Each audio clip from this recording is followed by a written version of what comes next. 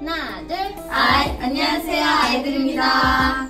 네, 여러분, 저희가 이렇게 모이게 된 이유는 아주 기쁜 소식을 전해드리기 위해서입니다. 와!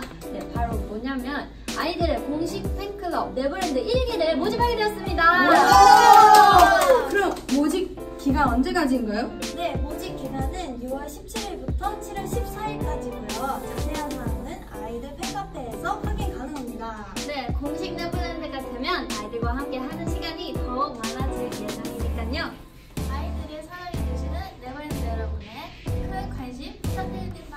네, 앞으로 저희 아이들도 더 열심히 할 테니까요. 여러분! 많이 많이 사랑해주세요. 하나, 둘, 아이, 감사합니다. 지금까지 아이들이었습니다.